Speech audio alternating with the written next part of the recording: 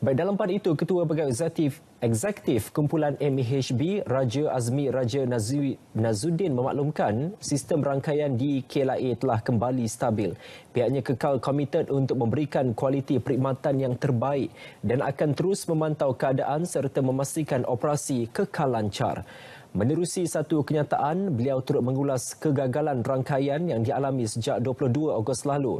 Raja Azmi tidak menolak kemungkinan ia satu tindakan berniat jahat namun menyerahkan kepada pihak berkuasa untuk melakukan siasatan penuh berhubung perkara itu. Beliau pada masa sama memberi jaminan bahawa soal keselamatan di lapangan terbang masih kukuh menerusi kerjasama dengan Jabatan Immigration dan PDRM.